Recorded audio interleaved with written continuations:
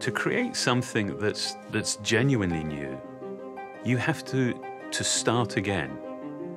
And I think with great intent, you, you disconnect from the past. If you never change anything, then what you can really engineer is kind of incremental. But when you're willing to change things, then you kind of open up a whole new world of design.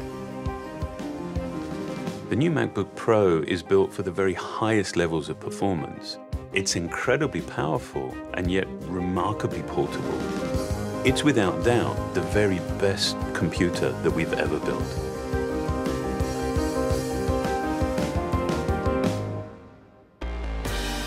We focused on the features that matter most to notebook users, and we made huge leaps. For the first time, we're bringing the Retina display to the Mac. It's the highest resolution display we've ever put in a notebook. With a resolution of 2880 by 1800, this display has over 5 million pixels. That's 3 million more than an HD TV. At this resolution, on this screen size, pixels just seem to disappear. You see an extraordinary level of detail in your photos. And typography looks amazing. It's sharper than a printed page. Beyond the display, the new MacBook Pro is really a powerhouse. We knew that an all-flash architecture was a key part of driving performance. Flash delivers data up to four times faster and uses just 10% of the space that a traditional hard drive would use. When you combine that with the most powerful graphics chips, the latest quad-core processors, and the fastest RAM available, you end up with a machine that's incredibly responsive. Loading and working with your content is amazingly fast because we pack this machine with the latest I.O. It has two Thunderbolt ports, two USB 3 ports, and one HDMI port. With all of this performance, the new MacBook Pro gets up to 7 hours of battery life.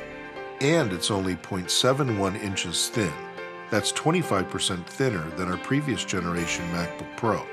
And it weighs just under 4.5 pounds. The new MacBook Pro would seem to be a complete contradiction. It's built for extreme levels of performance, but at the same time, it's remarkably portable. To create it, we rigorously question the ways in which we've designed and built our portable products in the past. One of the most significant challenges was completely changing our approach to the design of the display. By building the layers of the display into the unibody, we actually eliminated the need for a separate cover glass. And without the additional layers, without the distractions, you're just completely immersed in your content. By not purchasing standard parts, but by designing and engineering components from the ground up, we can create a product that is more elegant and that's more efficient. And there are many design innovations in the new MacBook Pro that users won't actually see, but they'll certainly experience.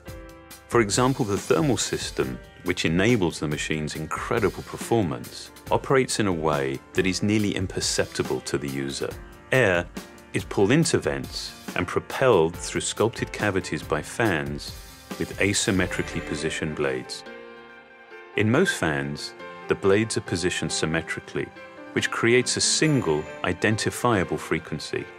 We positioned ours asymmetrically to spread the sound over a variety of frequencies, which makes it seem quieter and less intrusive.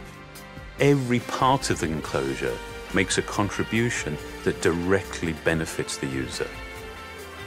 The vents are also part of the structural system, creating strong beams that actually increase the rigidity of the overall product. It truly takes an obsessive approach to make a product this meticulously designed and engineered. We've been able to optimize the software to take full advantage of the Retina display, and the results look simply amazing. Aperture on the new MacBook Pro is a total game changer for photographers. They can now zoom in and see four times more of their image with pixel for pixel accuracy, and fine tune even the smallest details. Photographers have never been able to work on images with this level of precision. Final Cut Pro 10 takes full advantage of the system's power and capabilities. So you can now stream up to nine camera views simultaneously, or view full 1080p video right in the project viewer and have plenty of screen space to spare.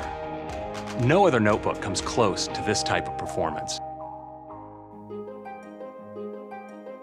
With the new MacBook Pro, we set out to design something extreme.